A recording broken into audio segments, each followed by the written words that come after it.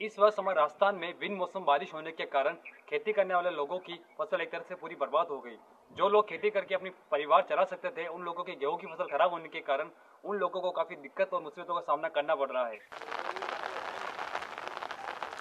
और बारिश के समय में मेरे बरसात होने से गेहूँ की फ़सल सब खराब हो गई। और बहुत सारे नुकसान हुआ, काफ़ी उनके भी हुआ और हमारे भी हुआ। और बर्फ़ के कोरे गिरने से मतलब हर चीज़ से हमारे खूब सारा नुकसान हो गया और हमारी फ़सल भी बल्कि नष्ट हो गई थी।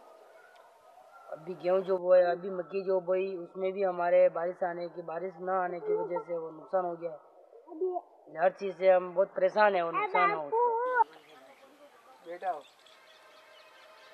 हमारे को फ़सल कम होने से हमारे को नुकसान होगा और जो आम लोग हैं, उनको गेहूँ महँगे मिलेंगे, अच्छे गेहूँ नहीं मिलेंगे, जिससे उनको भी नुकसान होगा।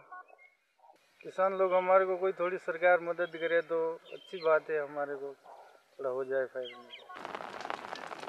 खेती करके बड़ी मेहनत से लोग गेहूँ और मक्का की फ़सल उगाते हैं, लेकिन मीन मौसम बारिश होने के कारण सबसे भारी नुकसान खेती करने वाले लोगों पर होता है, क्योंकि खेती से उनके आजीविका पर एक तरह से असर होता है। मैं पंचायत समिति खमनौर के अधिकारी से निवेदन करता हूँ, जिनके नंबर है ज़ीरो उनतीस बावन अट्ठाईस इक्यावन बाईस, जिन लोगों की गेहूँ की फ़सल, बर्फ़ की बारिश होने के कारण खराब हुई थी, उन लोगों के लिए सरकार की तरफ़ से उचित मुआवजा दिलाया जाए, ताकि उन लोगों की आजीविका पर कोई असर ना पड़े। शंभुराज तंवर दिलोड़ा से, इंडिया हट के लिए।